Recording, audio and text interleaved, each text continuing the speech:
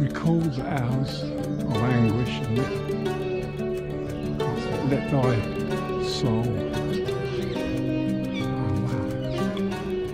soul.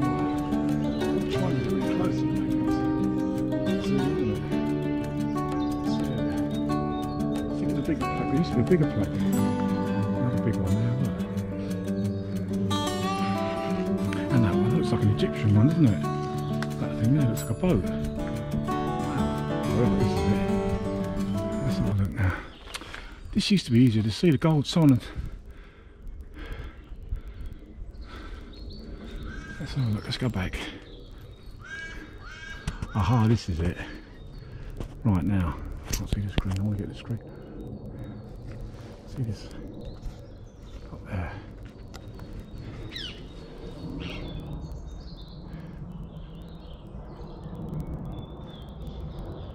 Let's see that. I'll leave it while. I don't know if you can see it. I hope you can. See what I'll do, I'll put the stick up and right near it, see if you can see it. Ah, damn. Sorry about that. Oh, can. I doubt you will, but Mary Allen, the second surviving daughter of John and Judith Allen, born 26th of June 1924, died 11th September 1874, 11th of September 9/11. Her remains repose uh, in the vault beneath with those of her much loved parents. Right, okay. What's this one say? What's the bit about? Judith Allen. Right, okay, that's Mary Allen, that's Judith Allen. That Squire. Judith Allen Squire. St John St Villas Deptford. Born at Bury Street, I think it is. Suffolk died at De- Deptford uh, 26th of August 1866. So she was young, wasn't she? 26 years of age. Oh no, 26th of August, beg your pardon. Uh, how many children she have? Yeah, doesn't. I can't see her age on there. It's just a shame that it's worn off. I'm sure you used to be able to read it a lot easier. Okay. John Allen. This is definitely the one. I know it is. This is the one. It's like a king's. It's almost like a, what a king would be buried in, isn't it? You can imagine. Where is the plaque? There used to be a plaque on there. I don't know where it's gone. I'm sure they've taken it off, or it's worn away. It used to be clearly written. John Allen. Whit- Whitby, Yorkshire, August 70. 17, uh, 1790. Died at St John's Villas, Deptford, Kent, 29th of May 1819. No, it can't be 19. 1855. So what was he? 1719 to 1855. What's that make him? 65. Forever with the Lord. Uh, wow. Aha, John Allen. Let's see, it's along there in great big letters.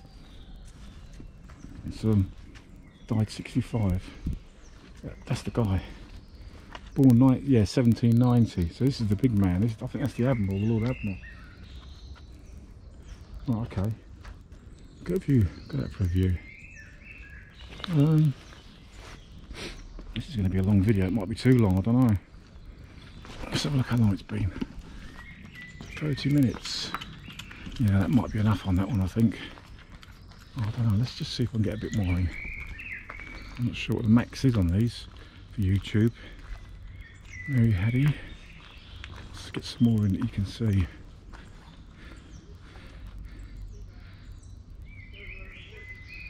Blimey. In this vault, I deposited the remains of Vincent Figgins for many years and an eminent type founder in the City of London. He departed this life February the 29th, 1844, age 77. Yeah, I heard about him. He was a typesetter. He was famous. Died. That's what the remains of. Oh, that's his wife. But I thought, Wow. let's go before. That's another one there, another part of the family. Okay. Right, that's... Who's this one then? Did we look at this?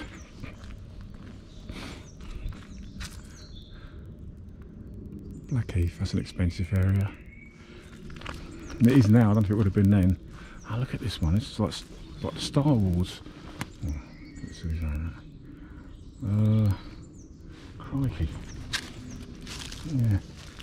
I think it used to be, they probably do clean them up every now and again because they seem to have got a lot more harder to read. Famous graves, there we go. People featured. Let's see if I can hold it there, you a, here's it. Good enough to read. If I can read it through there, you should be able to. Get the sun off it. And hopefully you can.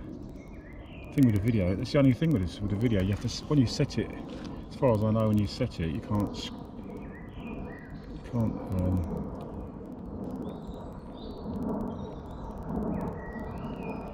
apparently you can't um, you know, zoom in or out once it's set on, on the video. Seems a bit silly, doesn't it? Let's read a bit of it.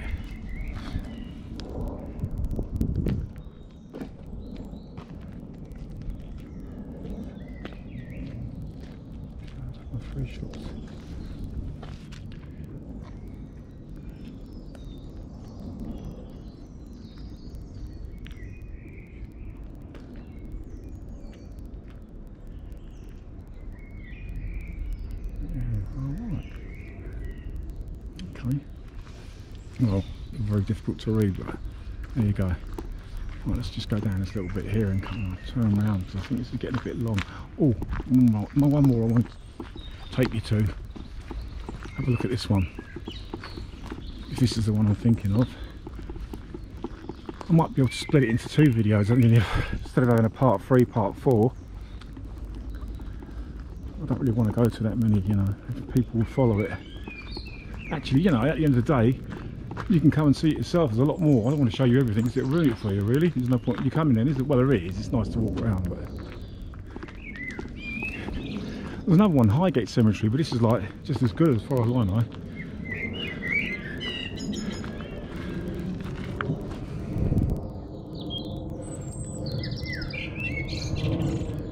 God, a family called Mullins.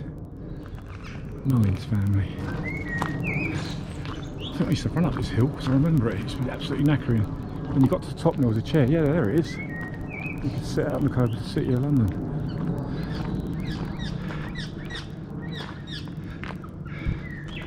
That one there. 22nd of January 1890. Died 1869.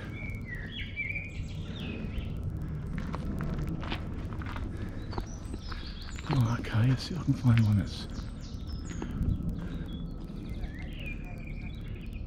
1897 to he lived to be 75.